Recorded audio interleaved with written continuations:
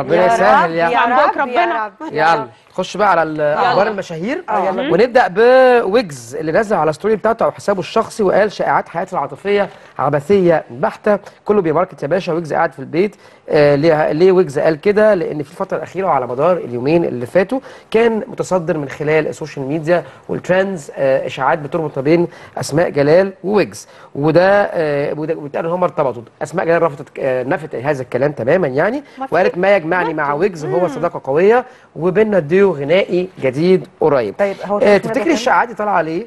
تاريخ ميلاده أنا بالتاريخ الميلاد مش لا ما عنديش أجيب لا، لا لا، تاريخ ميلاد ويجز التانية. 11 9 مكتوب؟ 98 سلام. وأسماء جلال 22 مايو 95 مبدئيا هي جوزاء وهو عذراء ما ينفعوش مع بعض. هم يبقوا يفضلوا كده أصحاب بيروشوا. آه هي شايفة إن هو برضو ويجز آه يعني الاثنين يعتبروا إن هم آه هي عايزة منه حاجة وهو عايز منها حاجة.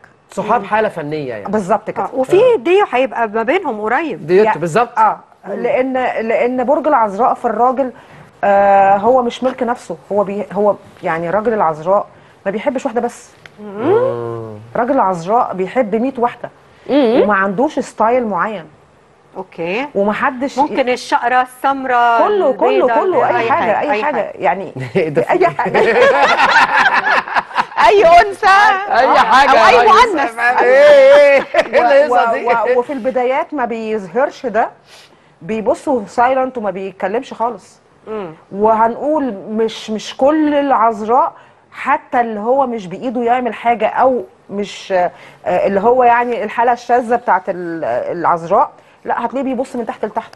طب العواطف سلام. عند ويجز عاملة إزاي الفترة دي؟ 11 wow. هو سبتمبر. لا ابتدى يركز في شغله لأنه حس ان الفترة اللي فاتت آه، كان عمال يسافر كتير مش واقف على الأرض صلبة. هيبتدي يرجع علاقاته تاني ويركز في شغله شوية تاني آه، لأن العذراء في الراجل ما بيثقش في واحدة. بيومي فؤاد بقى بيقول آه، لن يجمعني عمل مع كامل أبو ذكري المخرجة الكبيرة طبعا حتى لو سينال الأرض.